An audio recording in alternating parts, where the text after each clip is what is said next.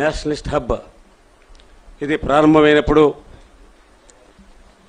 ఈ Nationalist hub అనే channel గురించి రకరకాల వ్యాఖ్యానాలు చేసిన వాళ్ళు వాళ్ళలో కొంత నాకు తెలుసు వాళ్ళ వ్యాఖ్యానాలు కూడా నాకు తెలుసు. కానీ optimism and perseverance will sooner or later lead to success అని సూర్యనాథ్ బెనర్జీ గారి ఒక డిక్టం ఉంది. అలాంటి ఆశావాదం పట్టుదలతో ఇవాళ నేషనలిస్ట్ హబ్ మరో రెండు యూట్యూబ్ ఛానల్ ప్రారంభించేటువంటి దశకి చేరుకుంది. ఇది ఒక అసిధారావర్తనలాగా రెండు సంవత్సరాల పాటు ఈ ఛానల్ సాగించినటువంటి మహోత్తరమైనటువంటి ఉద్యమం ఇది. దీనికి సాయికృష్ణ పరిపూర్ణమైనటువంటి అభినందన అందు అందుకునేందుకు అర్హుడు. దయచేసి let's give him big big clap ఇప్పుడు ఒక ప్రభంజనం. ఇప్పుడు చూశారు. ప్రభంజనం తర్వాత మాట్లాడాలంటే కొంచెం కష్టమైన విషయం క్లిష్టమైన విషయం. కానీ మీడియా క్లుప్తంగా నేను ఉన్న సమయంలో మనకి స్వాతంత్రోద్యమానికి స్వా- ఈ దేశం స్వాతంత్రం అవడానికి ముందు పంతొమ్మిది వందల సంవత్సరం నుంచి స్వాతంత్రం వచ్చేదాకా ఈ దేశంలో ఈ ఎలక్ మీడియా టీవీలు లేవు ఏమీ లేవు ప్రింట్ మాత్రం ఉండేది. అది కూడా లిటరసీ రేట్ చాలా తక్కువగా ఉండటం వల్ల మనకి పంతొమ్మిది వందల ఇరవై దశకంలో స్వాతంత్రోద్యమం ఏదైతే ప్రారంభమైందని చెప్పని మనకి చరిత్రకారులు చెప్తున్నారో. ఆ పంతొమ్మిది ఇరవై దశ దశాబ్దం చూసినట్టయితే అప్పటికి మనకి లిటరసీ రేట్ అక్షరాస్యత దేశంలో పది శాతం కన్నా తక్కువ ఉంది. జనాభా మనకి ముప్పై రెండు ముప్పై ఒక్క కోట్లు ముప్పై రెండు కోట్లు అప్పుడు. అలాంటి దశలో అక్షరాస్యత తక్కువ ఉన్నప్పుడు పత్రికలు ఎక్కువ ఉండే అవకాశం లేదు. కానీ ఆ నాలుగైదు దశాబ్దాల కాలంలో ఒక ప్రముఖమైనటువంటి కొన్ని పత్రికలు దేశవ్యాప్తంగా బాగా గుర్తింపు పొందిన పత్రికలు ఆనంద బజార్ పత్రిక బెంగాలీలో వచ్చింది శిశిర్ కుమార్ ఘోష్ మోతిలాల్ మోతీలాల్ ఘోష్ వాళ్ళు బెంగాల్లో తర్వాత ఇంగ్లీష్లో వచ్చింది. అలాగే మలయాళంలో స్వదేశాభిమాని అని రామకృష్ణ పిళ్ళి అనే ఆయన ఒక అబ్దుల్ ఖాదర్ అనే ఆయన దాన్ని ఓన్ చేసేవాడు. అలాగే సుబ్రహ్మణ్య అయ్యర్ స్టార్ట్ చేసినటువంటి హిందూ స్వదేశ మిత్రన్ తమిళ్ళో హిందూ ఇంగ్లీష్లో మదన్ మోహన్ మాలవీయ ది లీడర్. ఇలాగ కొన్ని పత్రికలు మనకి దేశంలో చాలా ప్రముఖంగా వచ్చాయి. ఈ పత్రికలన్నీ ఏం చేశాయి అప్పుడు? అంటే ఒకటే ఆలోచించాయి. ఈ దేశ ప్రజలకి ఏది అవసరమో ఈ ప్రజలకి ఏం కావాలి తక్షణ ప్రయోజనం ఏమిటి అంటే స్వేచ్ఛ కావాలి స్వాతంత్రం కావాలి. ప్రపంచంలో సృష్టిలో ఏ ప్రాణినైనా తీసుకోండి మీరు. పై ప్రాణిన మొట్టమొదటి కోరుకునేది స్వేచ్ఛ. మనం బొ- బంగారు పంజరంలో పెట్టి బ్రహ్మాండమైన భోజనం పెట్టి ఒక చిలకని పోషించండి ఇంకొక చిన్న పిట్టని పెట్టండి. ప్రతి ప్రాణి కోరుకునేది అలాగే భారతీయులు కూడా కోరుకున్నారు మొట్టమొదటి స్వేచ్ఛ స్వాతంత్రాలు కావాలి. దీనికోసం పనిచేశాయి అప్పటి పత్రికలన్నీ. వాళ్ళందరికీ ఒకటే ఒక లక్ష్యం ఒకే ఒక జాతీయ ప్రయోజనం అది ఈ దేశానికి స్వేచ్ఛ కావాలి. దాస్య శృంఖరాల నుంచి ఈ దేశం విముక్తి పొందాలి. ఇది ఒక తపన ఒక ఆరాటం ఒక ఆకాంక్ష. ఆ దిశగా ఎలా ఎంత అద్భుతంగా పనిచేశాయంటే ఇంకా అనేక పత్రికలు చిన్న చిన్న పత్రికలు వచ్చాయి. రహస్య పత్రికలు నడిపారు. మా నా తండ్రి స్వాతంత్ర సమరయోధుడు. ఆయన పంతొమ్మిది వందల ఇరవై ఒకటిలోనే ఉద్యమంలోకి వెళ్ళిపోయాడు ఆయన. ఆయన రహస్యంగా డంకా అనే పత్రిక నడిపేవారు. ఆయన రాసేవారు కాదు. ఎవరెవరు రాసేవారు? మా దాని డిస్ట్రిబ్యూషన్ అంతా అనమాట ఎన్ని కొన్ని వందల పత్రికలు. ఇక అక్షరాస్యత ఎక్కువ లేదు. గ్రామంలో ఒక్కడు చదువుకునేవాడు ఉంటే చాలా చాలా అపురూపమైన విషయం అనమాట కానీ గ్రామంలో ఆ ఒక్కడికైనా వెళ్ళాలి. చదువుకునే వాడికి పత్రిక వెళ్ళాలి. ఇలాగా రహస్యంగా పత్రికలు నడపాలి. అలా రహస్యంగా పత్రికలు తీసుకొస్తే పోలీసులు వచ్చి సోదా చేసేవాళ్ళు. మా ఇంట్లో మా ఇంట్లో ఈ రహస్య పత్రికలు ఒక వంద రెండు వందల పేపర్లు వస్తే అవి ఒక బుట్టలో పెట్టి పైన కూరలు పెట్టి పంపించేవాళ్ళు ఎవరో. పంపిస్తే ఇవి తెలియక మా అమ్మగారు దాని మీద నీళ్ళు పోసింది ఒకసారి. మొట్టమొదటిసారి వచ్చినప్పుడు కూరలు కదా కూరలు కడుక్కోవాలనుకుని. తీరా చూస్తే అడుగున పత్రికలు ఉన్నాయి తడిసిపోయినాయి. అవి ఏడ్చేసింది భయపడిపోయింది. అప్పుడు మా ఫాదర్ చెప్పారు నువ్వు భయపడక్కర్లేదు ఈసారి జాగ్రత్త పడు. పోలీసులు సోదా చేస్తారన్నప్పుడే ముందు వార్త వచ్చేది ఈ ఈ పే- పేపర్లు తీసుకెళ్ళి ఆ తాడా దడిలోనూ ఇంకెక్కడో పిడకల వెనకాలో వాటిలో దాచిపెడుతుండేది. అంటే ఎంత కష్టపడ్డారు ఒక పత్రిక ద్వారా ఒక సమాచారాన్ని ప్రజలకు తీసుకెళ్ళడానికి అదొక్కటే ఆయుధం. పత్రికలు ఒక్కటే ఆయుధం. ఆ రోజు పత్రికలకు లక్ష్యం ఒక్కటే ఒకటి. అది ఏమిటి? ప్రజలని ఉత్తేజపరచాలి. ప్రజల్ని మేల్కొలపాలి. చేత ప్రజలు చైతన్యం తీసుకురావాలి. ఎందుకు చైతన్యం? అక్షరాస్యత అక్షరాస్యత లేదు. చదువుకున్న వాళ్ళు తక్కువ. ప- పల్లెల్లో లేరు. పట్టణాల్లో ఉన్నారు కొద్దిగా ఉన్నారు. ఈ జమీందారులు పెత్తందారులు డబ్బున్న వాళ్ళంతా వాళ్ళంతా మోస్ట్లీ జస్టిస్ పార్టీలో ఉన్నారు. లేదా వాళ్ళు కాంగ్రెస్ పార్టీకి నిధులు ఇచ్చినా కూడా వాళ్ళు బాహాటంగా బయటకు వచ్చిన వాళ్ళు కాదు. ఎవరు ఇందులో ఉద్యమంలో మధ్యతరగతి వాళ్ళు ఆ కింద మధ్యతరగతి వాళ్ళు అన్ని వర్ణాల్లోనూ ఉన్నారు. వాళ్ళు వాళ్ళు నిజంగా వాళ్ళు కాస్త చిన్న జ్ఞానంతో ఈ ఉద్బోధలు విని విని విని పత్రికల ద్వారా కాస్త కొంత చదువుకుని రేడియో ఒకటి ఉండేది. రేడియో ద్వారా విని. ఇలాగా. ఇలాంటి అద్భుతమైన ఇలాంటి ఒక శక్తిని ప్రజల్లోకి తీసుకువెళ్ళడానికి ఆ రోజు పత్రికలు పనిచేశాయి. వాటి యొక్క లక్ష్యం ఒక్కటే ఒక్కటి అదేమిటి? జాతీయ ప్రయోజనం. ఈ జాతి విముక్తి స్వేచ్ఛ పొందాలి. ఈ జాతికి ఈ పరదాస్య పరదాస్య నుంచి విముక్తి పొందాలి. ఇలా పనిచేశాయి కదా. స్వాతంత్రం వచ్చింది. వచ్చిన తర్వాత పత్రికల పాత్ర ఏమిటి? స్వాతంత్రం వచ్చిన తర్వాత స్వాతంత్రోద్యమ తాలూకు వాసనలు ఆ ఛాయలు ఒక రెండు మూడు దశాబ్దాల పాటు కొనసాగాయి. ఎందుకంటే ఉద్యమంలో పాల్గొనేటువంటి వాళ్ళు జైలుకు వెళ్ళిన వాళ్ళు స్వాతంత్ర సమరోజులో చెప్పబడిన వాళ్ళు వాళ్ళల్లో ఉన్నటువంటి ఒక దేశభక్తి. అంటే మనం స్వేచ్ఛ కావాలని కోరుకున్నాం స్వంత రాజ్యం కావాలని కోరుకున్నాం కాబట్టి నిలబెట్టుకోవాలి అనే తపన ఆరాటం ఉండేది. ఇది ఒక ఒక ఆ తరం అంటే పంతొమ్మిది వందల డెబ్బై దాకా ఇంచుమించుగా మీకు చాలా వరకు దేశ రాజకీయాలు మీరు చూస్తే పాత తరం నాయకులు కనిపిస్తారు మీకు. మొట్టమొదటిసారి పంతొమ్మిది వందల డెబ్బై మధ్యంతర ఎన్నికల తర్వాత పరిస్థితులు మారిపోయినాయి.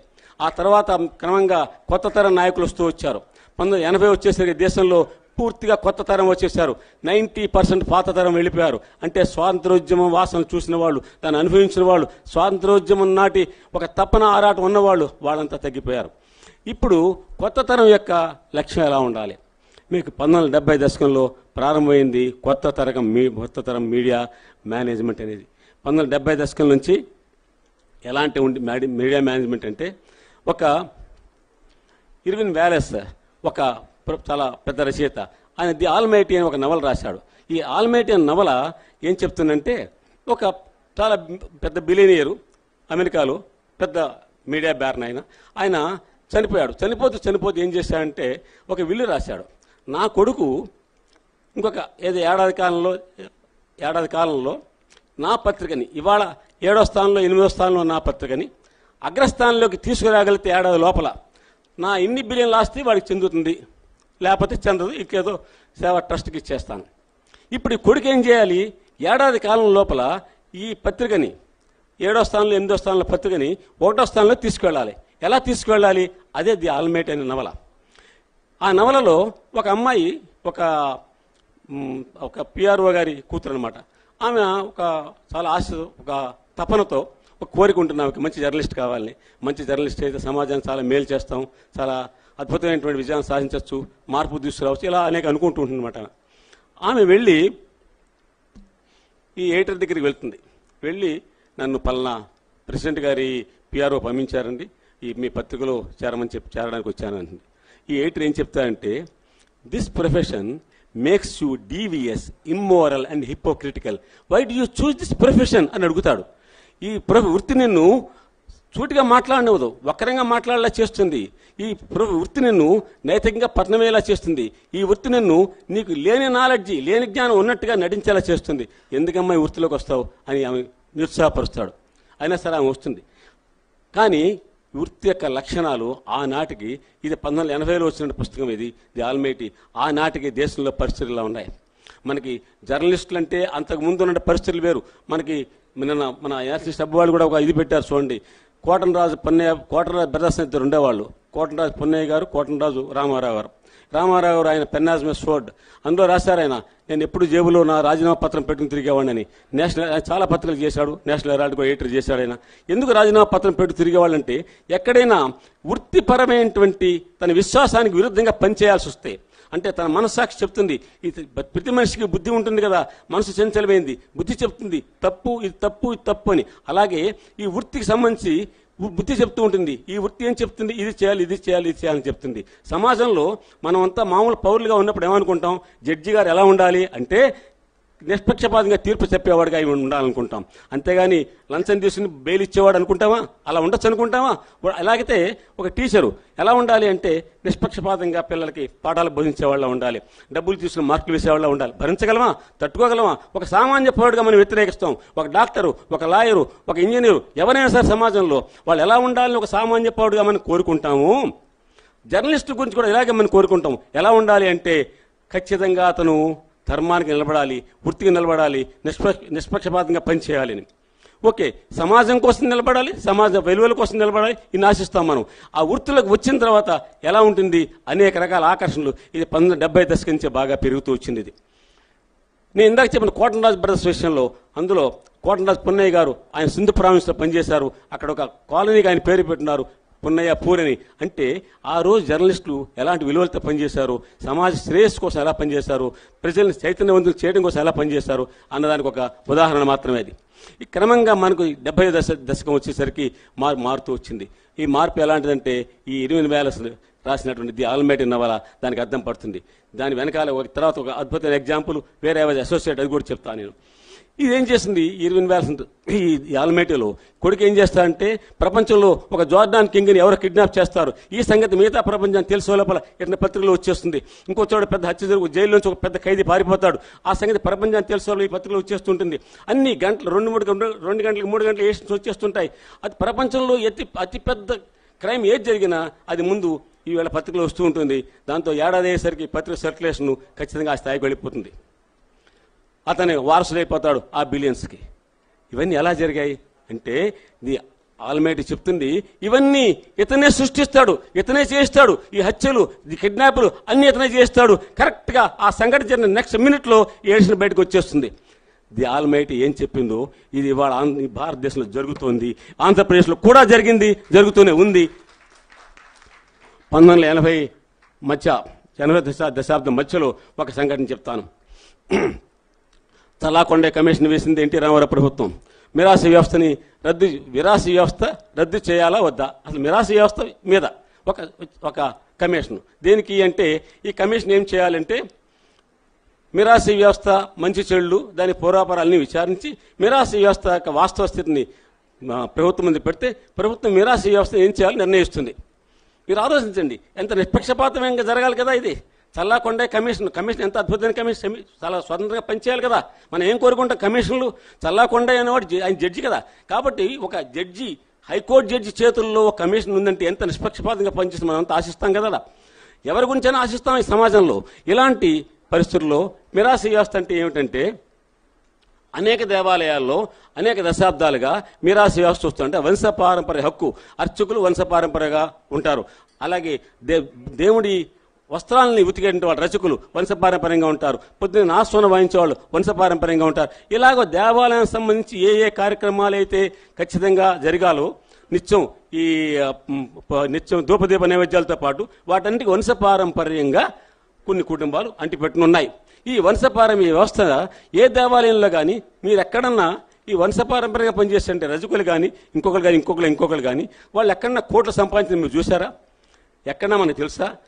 కానీ మరి ఎందుకు ఈ కమిషన్ వేశారు? ఎందుకు ఆలయాలు ఇన్ని ఆలయాలు ఉన్నాయి కదా మనకి? ముప్పై మూడు వేల ఆలయాలు ఉన్నాయి. ఎందుకు అలా చేశారంటే ఈ ఊహించండి. తిరుమల తిరుపతి దేవస్థానం వీళ్ళ యొక్క వీళ్ళ యొక్క టార్గెట్. టార్గెట్ అంటే తిరుమల తిరుపతి దేవస్థానంలో కోట్ల కొద్ది కోట్లు కోట్లు. ప్రతి సంవత్సరం ఈ మీరా పన్నెండు కుటుంబాలు ఉండేవి. ఒక కుటుంబం తర్వాత ఒక్కో కుటుంబం అర్చకులు. పన్నెండు కు- అర్చక కుటుంబాలు ఉండేవి. ఒక సంవత్సరం తర్వాత ఒక సంవత్సరం అవకాశం వస్తుంది. వాళ్ళకు ఒక సంవత్సరంలో వాళ్ళు సేవ చేస్తారు సంపాదించుకుంటారు. మళ్ళీ పన్నెండు పన్నెండేళ్ళ తర్వాత కానీ వాళ్ళకి అవకాశం రాదు. ఈ పన్నెండు సంవత్సరాల్లో ప్రతి ఏడాది ఈ ఆభరణాలు ఎన్ని వందల కోట్ల రూపాయలు విలువ ఆభరణాలు ఉన్నాయో అన్నిటికీ బాధ్యత మిరాశదారిదే. ఇవాళ వరకు ఎక్కడ ఒక్క పొరపాటు జరగల ఎక్కడ ఒక్క ఒక్క ఆభరణం కూడా మిస్ అయింది కూడా జరగాల. అంత అద్భుతంగా మిరాస్ వ్యవస్థ పనిచేస్తుంది. ఈ మిరాస్ వ్యవస్థ ఉండాలా? పోవాలా? ఈ వీళ్ళు కోట్లు సంపాదించేసుకుంటారు కాబట్టి ఏం చేయాలి? ఒక కమిషన్ వేశారు. ఈ కమిషన్ ఏం చేసిందండి? ఒక రిపోర్టు ప్రభుత్వానికి ఇవ్వాలి కదా. ఈ మధ్యలో ఒక చిన్న తమాషా జరిగింది. ఒక ప్రముఖ దినపత్రికలో ఒక సీరియల్ స్టార్ట్ అయింది. దాని పేరు కలియుగ వైకుంఠపాళి. కలియుగ వైకుంఠపాళి అని ఒక సీరియల్ ఒక ప్రముఖ పత్రికలో స్టార్ట్ అయింది. ఈ ఈ కలియుగ వైకుంఠపాళి ఏమి తొచ్చేది అంటే రోజు తిరుమల తిరుపతి దేవస్థానము అక్కడ మిరాసి వ్యవస్థ మిరాసి వ్యవస్థ ఎంతమంది ఉన్నారు ఏ వర్గాల వల్ల ఎన్ని కొన్ని ఎన్ని- కుటుంబాలు ఉన్నాయి ఎవరెవరు ఎన్ని ఎన్ని కోట్లు సంపాదించుకుంటున్నారు ఈ మిరాసి వ్యవస్థ వచ్చిన తర్వాత ఎలాగ ప్రభుత్వానికి అసలు అజమాయిషి లేకుండా పోయింది ప్రభుత్వానికి కంట్రోల్ లేకుండా పోయింది ప్రభుత్వం ఊరికే ప్రేక్షకుల చూస్తూ ఉంటుంది. ఈ మిరా ఇన్ని రకాల కథనాలు రోజు రోజు రోజు సీరియల్ కింద ఈ కలియుగ వైకుంఠపాళిలో వచ్చేవి. వాటన్నిటిల్లోనూ అతి ముఖ్యమైన అంశం ఏంటంటే తిరుమల తిరుపతి దేవస్థానాల మిరాసి వ్యవస్థకు సంబంధించిన అన్ని డాక్యుమెంట్లలో ఉన్న వివరాలు డేటా అంతా కూడా ఈ సీరియల్లో వచ్చింది. ఈ సీరియల్ పూర్తయిన కొద్ది రోజుల్లోనే ప్రభుత్వం ఒక చట్టం తీసుకొచ్చింది. మిరాసి వ్యవస్థను రద్దు చేస్తూ. ఎంత దుర్మార్గం ఇది? ఎలా జరిగింది ఇది? చెప్పండి. ఇది ది ఆల్మైటీ నవల గుర్తొస్తుంది మనకి ఇది. ఆల్మైటీ వల్ల ఏం చేశాడో కరెక్ట్గా అదే ప్రకారం. ఇవాళ ఒక ఎగ్జాంపుల్ చెప్పి ఇలాంటి అనేక ఎగ్జాంపుల్స్ నేను చెప్పగలను అనేక సందర్భాలు మీకు చెప్పగలను. ప్రభుత్వంలో మనకి ఏది ఈ ప్రభుత్వం ఏం చేయాలనుకుంటో చదువుకుంటుందో అది కొన్ని పత్రికల్లో వచ్చేస్తుంది. ఎందువల్ల? పత్రిక లేక రంగు రూపు అంతా మారిపోయింది. మారిపోయి పంతొమ్మిది ఎప్పుడైతే దేశ స్వాతంత్ర్యం కోసం పోరాడినటువంటి వాళ్ళు ఆ స్వాతంత్ర యోధులు వాళ్ళ వాళ్ళ ఆ వాసన ఇంకా ఉన్నవాళ్ళు ఉన్నంతకాలం ఒక రకంగా ఉన్నాయి. తర్వాత కాలంలో మీడియా మేనేజ్మెంట్ యొక్క లక్షణం మారిపోయింది. మారిపోయి మారిపోయి చివరికి ఎక్కడికి వచ్చింది? ఇదిగో ఇవాళ ఏం జరగాలని ప్రభుత్వం కోరుకుంటుందో దానికి అది పత్రి ప్రభుత్వానికి అనుకూలంగా ఉండేటువంటి పేపర్లో వస్తుంది. అక్కడితో అవల తర్వాత దశ తొంభై దశ మీరు తొంభై శత పంతొమ్మిది వందల తొంభై నుంచి చూడండి. తొంభై దశాబ్దం నుంచి నేను ఢిల్లీలో ఐదు సంవత్సరాలు పనిచేశాను. పార్లమెంటు బడ్జెట్ సమావేశాలు జరగడానికి ఒక నెల రోజుల ముందు నుంచి కొంతమంది కార్పొరేట్ కంపెనీస్ ఉంటాయి చాలా పెద్ద పెద్ద కార్పొరేట్ కంపెనీస్. వాళ్ళు మీడియాలో ఎవరు పవర్ఫుల్లో పవర్ఫుల్ ఎడిటర్ కానీ లేదా బ్యూరో చీఫ్ కానీ ఎడిటర్లు సామాన్యంగా వెళ్ళరు బయటికి. వాళ్ళ బట్ అదొక అన్రిటన్ అండర్స్టాండింగ్ బ్యూరో చీఫ్లు సీనియర్ రిపోర్ట్స్ ఉంటారు కదా వాళ్ళని పంపిస్తారు. వాళ్ళు వెళ్తారు ఆ కార్పొరేట్ కంపెనీలో వాళ్ళని ఎంటర్టైన్ చేస్తారు వాళ్ళతో మాట్లాడతారు. ఈ పాలసీ అండి ప్రజలకి ఈ దేశానికి విరుద్ధం. ఈ పాలసీ ఎలా ఉంటే మంచిదో వాడు చెప్తాడు ఈ పేపర్లో వస్తుంది. ఇలా కొన్ని పేపర్లో వస్తూ ఉంటుంది అలాగా. బడ్జెట్ సమావేశాలకు ముందర. చివరికి ఎలా జరగాలని పెద్ద కంపెనీలు అనుకుంటున్నాయో అదే రకంగా ఆ బడ్జెట్ సమావేశాల్లో ఆమోదించడం జరుగుతుంది. ఆ స్కీములు వస్తాయి ఆ పథకాలు వస్తాయి ఆ తీర్మానాలు వస్తాయి. ఇవాళ మన పరిస్థితి ఏంటంటే దేశంలో ఎక్కడి దేశం కోసం దేశ ప్రయోజనాల కోసం ఆలోచించి అందుకోసమని మీకు తెలుసా ఈ ఈ రామకృష్ణ పిళ్ళేని ప్రభుత్వం తరిమేసింది. అక్కడి నుంచి తిరువాంకూర్ నుంచి తరిమేసి బహిష్కరించింది. ఎక్కడికో తిరునెల్వేలి ఎక్కడికో వెళ్ళిపోయాడు తమిళనాడు వెళ్ళిపోయాడు ఆయన. ఎందుకని బహిష్కరించింది? నువ్వు మాకు వ్యతిరేకంగా రాస్తున్నావు. అంటే ఇతను చేసిన పని దేశ ప్రయోజనాల కోసం ఈ జాతి ప్రయోజనాల కోసం స్వాతంత్రం అనేది ఆ రోజు ఈ జాతి ప్రయోజనాలు కనుక. అప్పుడైనా ఇప్పుడైనా ఇప్పుడైనా ఏది మనం ఆలోచించాల్సిన పద్ధతి? ఏది మనం ఆలోచించాలి? పార్టీ లైన్స్లో పనిచేసే పత్రికల గురించి పత్రికల పత్రికలు ఆలోచించే పద్ధత లేకపోతే ప్రభుత్వానికి అనుగుణంగా ప్రతికూలంగా ఉండాలి అని ఒక స్టాండ్ తీసిన పత్రికల పద్ధత మనం ఆలోచించాల్సిన పద్ధతి ఏది? ఏది అధిక అధిక జనాభా ప్రయోజనాలకు అనుగుణంగా ఉన్నదో అది మాత్రమే జాతీయవాదం మిగతావన్నీ దొంగవాదాలు కేవలం వ్యాపారవాదాలు.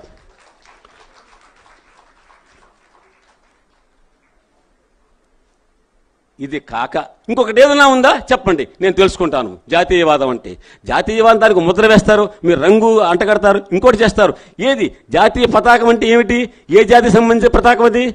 ఏ జాతికి సంబంధించింది? ఈ దేశంలో ఎన్ని ఎన్ని జా- ఎన్ని రకాల మత భాషలున్నాయి భాషలు ఉన్నాయి ఎన్ని రకాల మతాలు ఉన్నాయి ఏ- ఏ ఏ జాతికి సంబంధించింది? జాతీయ పతాకం ఎలాగైతే ఈ జాతికి ఈ- ఈ జాతికి సార్వభౌమత్వానికి అది ఒక ప్రతిగా నిలబడిందో అలాంటి ఈ జాతి యొక్క ప్రయోజనాలు ఈ జాతిలో అత్యధిక జనాభాకి ఏది మంచిదో ఈ దేశం పురోగమించడానికి ఏది మంచిదో ఇలాంటి ఇలా మాత్రమే ఆలోచించి ఆలోచించి అందుకోసం మాత్రమే పనిచేసిన మీడియా మాత్రమే నిజమైన జాతీయవాద మీడియా కానీ మిగతావన్నీ కుహనా మేధావులు నడిపే మీ- మీడియాలు. మన అదృష్టం కొన్ని మీడియాలు ఇంకా జాతీయవాద మీడియాలు ఉన్నాయి. చాలా సంతోషం. ధన్యవాదాలు.